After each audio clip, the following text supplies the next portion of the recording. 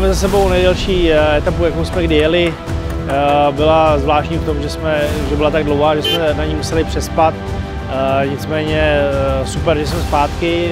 Byla to celá etapa v Dunách, tady v Empty Water, což znamená území, kde, kde nikdo není, ale to je jasný důvod, proč tady nikdo není, protože v těch Dunách se prostě nedá být.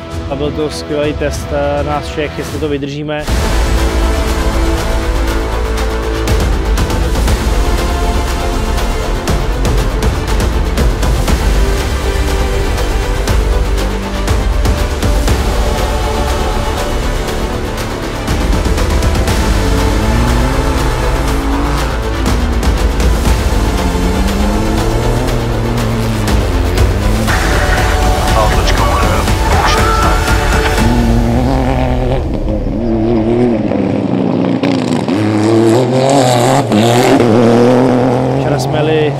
Skoro 7 hodin v kuse, dneska, dneska ráno jsme to ještě dvě hodiny dojížděli, prostě byly to duny, určitě ještě těžší, než jezdíme tady v Abu Dhabi. Bylo to tím, že organizátoři vybrali fakt eh, neustálý prostě ježdění jakoby ve zlomených dunách, žádný rychlejší duny, takže jsme tam eh, fakt museli hodně furt eh, hledat cestu, kudy to projet, ale jsem rád, že jsme to zvládli. Únavu cítíme, teď zvlášť, jak jsme dojeli, tak adrenalin odpad, ale je to konec prvního týdne, takže máme den volna, tak bude, bude čas eh, trošku dočerpat tu energii, jednak eh, tady ta dvojetapa byla náročná, ten spánek byl taky takový specifický, že jsme měli jenom stán na spacák a spali jsme prostě ten jeden na písku, takže, takže na tvrdým a eh, chviličku na odpočinek potřebujeme.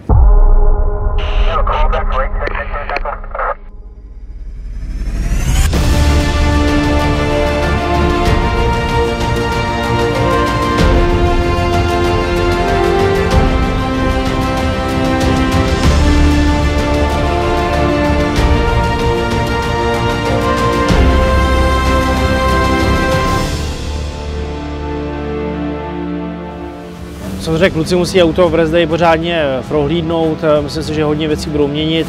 Já jsem rád, že to prostě tady ty eh, dva dny v Dunách projelo, protože ty Duny měkký tomu autu dávají hrozně zabrat, hlavně diferenciálu, převodovce, polosám.